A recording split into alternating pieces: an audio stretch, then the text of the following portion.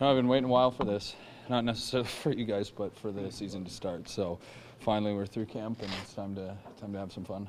No matter no matter how long you play in the league, does the excitement ever change on opening day, leading up to it? Not really. Um, I was even said to some friends last night. I just I just can't wait. It feels like feels like your first game again, and and uh, especially this matchup, Toronto Montreal, uh, opening night of the season in our building.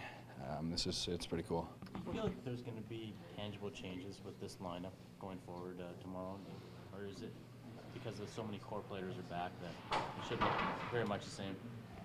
Uh, I don't I don't know if I understand. Ten like from this lineup going forward, or or from how we played last season.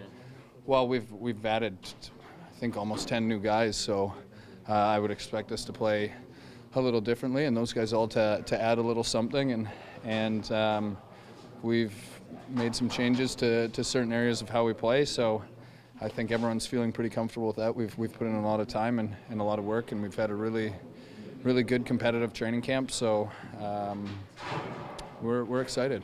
It seems like the team's a little smaller, maybe faster. Do you see the, the league going that way? I think it's been trending that way for a couple of years now. Um, younger and faster, and and I guess that's the the way teams want to fill up those kind of third and, and, fourth line spots. When when I came into the league 10 years ago, those were made up of all veteran players who had been through 35 uh, year old guys who who had been through a lot. And now it seems like uh, it's kind of going the opposite way, a little bit of, of um, let, giving young guys a chance, and, and if they earn the job, um, it's theirs to take. And there's guys that came in here that probably weren't penciled in as, as opening day guys that have, that have made the team. What do you think of Brandon Kozun? I think he's been one of those guys. He's been very impressive the whole camp.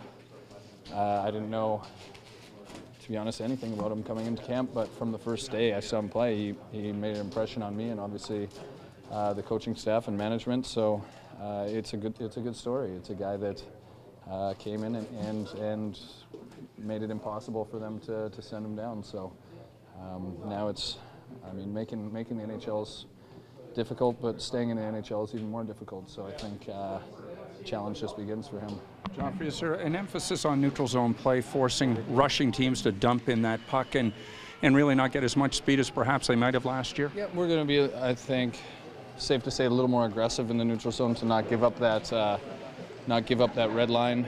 Um, last year, it felt like a lot of times we were letting teams dump the puck in our zone, and, and we weren't able to break out as cleanly as possible. So now we're uh, we're going to try and contest the red line a little bit more, which is not really a big secret. I think a lot of teams are, are going that same way. So uh, we just want to put pressure on people all over the ice, and hopefully, with our speed, that can lead to turnovers and some some mistakes from them.